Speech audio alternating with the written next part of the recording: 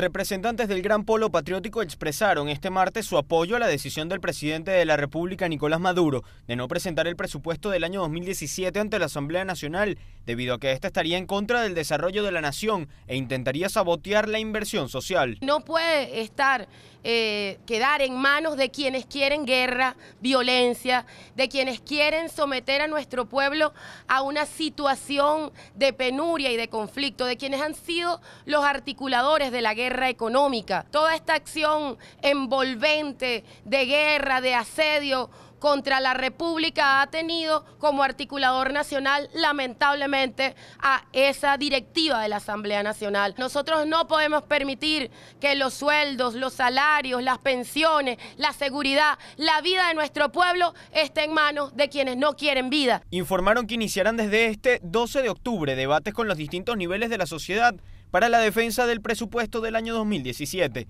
Desde Caracas, Luis Alejandro Laya, Notiminuto.